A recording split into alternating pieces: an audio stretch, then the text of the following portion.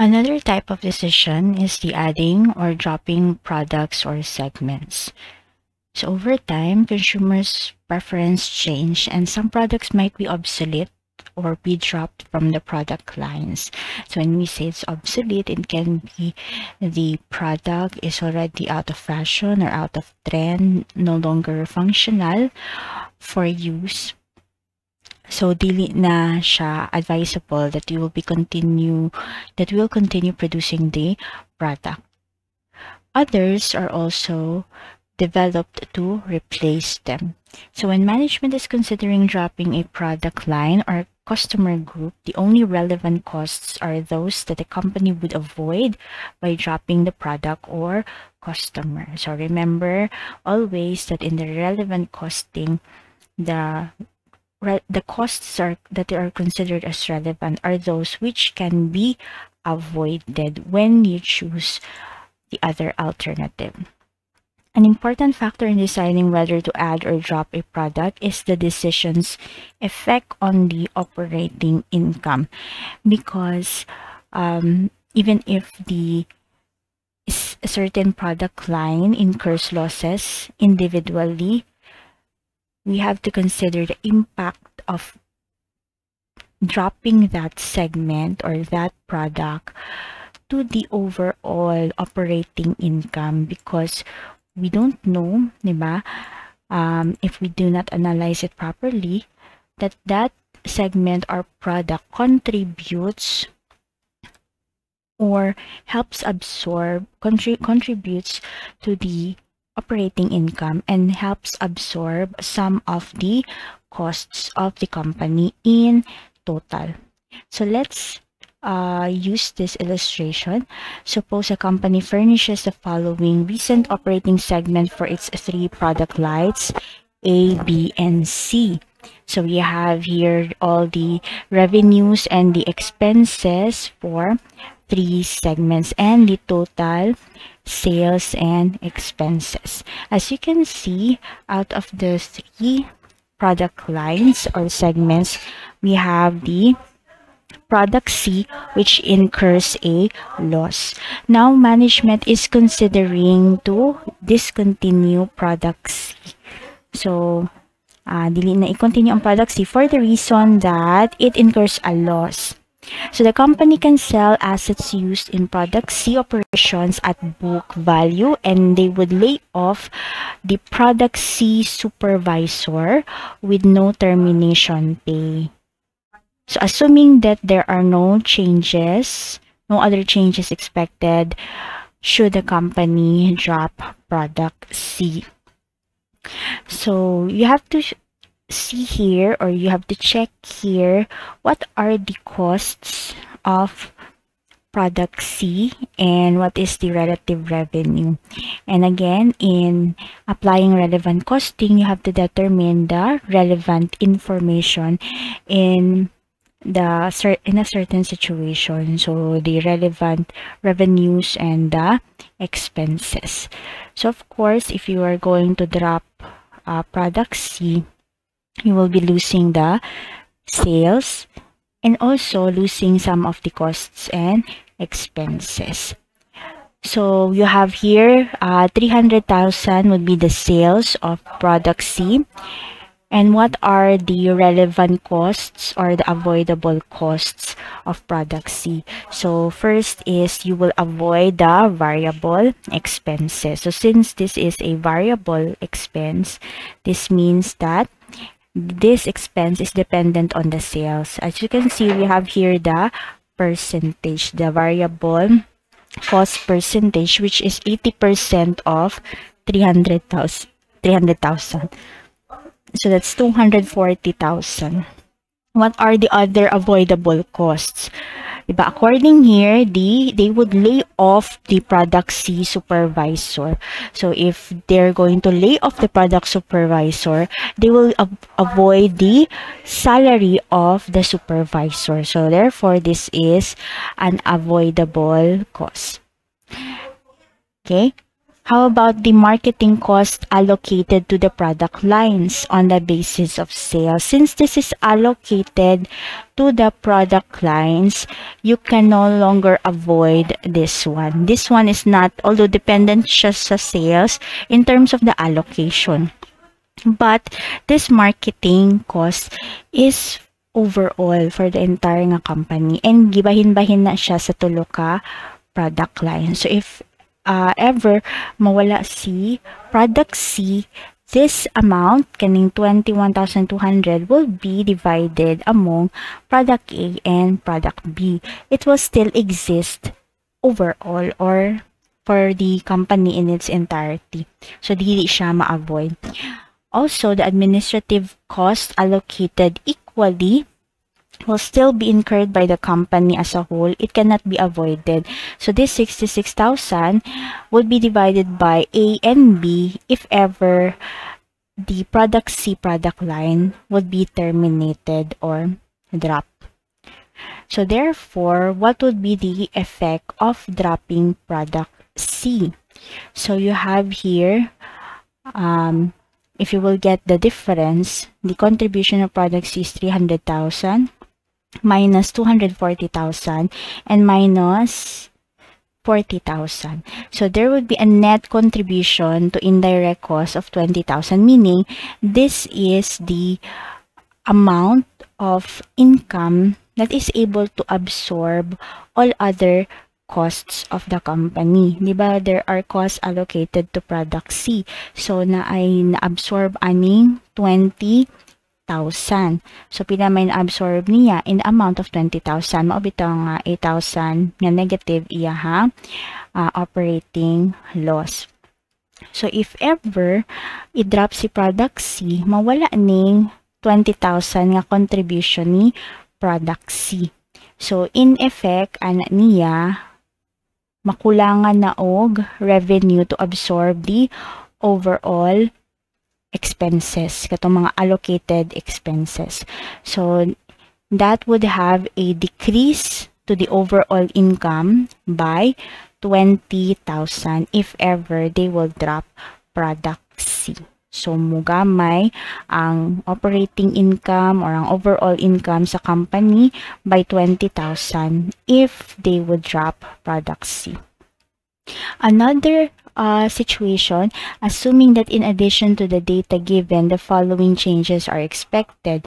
Sales of product A and B increase by 10% and 15% respectively. So by dropping product C, ma-boost ang revenues of product A and B.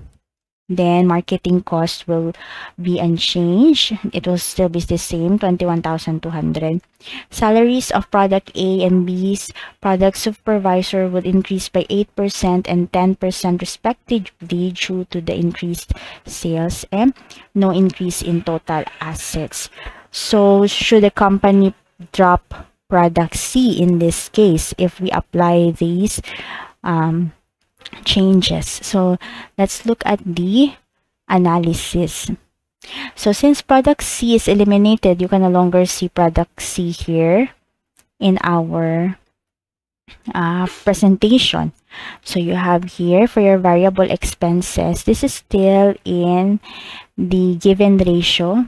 You have 70 and 60%. So let's check is if this is 70% and this is 60%.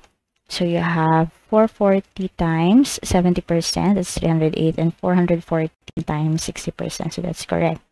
Next, sales of product A and product B increase by 10% and 15% respectively. So how much are the sales of product A and B?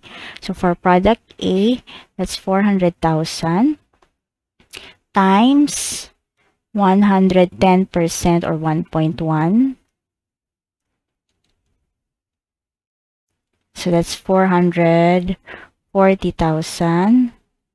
And you have 360,000 times 115% or you can uh, multiply 1.15. 360 times 1.15. So that's 414 thousand. So we plot that. Let's check here. Okay, you have 440 and 414. Next is marketing costs will be unchanged. Right, let's check. So the marketing cost that we mean here is the overall kanisha 21,200 but remember that marketing costs are allocated on the basis of sales. Okay? So if it is allocated in the basis of sales then let, let we need to uh, compute the ratio. So how much would be the ratio so you have for your sales that's 440 then that's 414 okay total 440 plus 414 that's 854. This is for A and this is for B. So we have 440 over 854 and 414 divided by 854. So we will allocate the overall marketing costs. 440 divided by 854 times 21 200. So that will be 10,923. And 414 divided by 854 times 21, 200.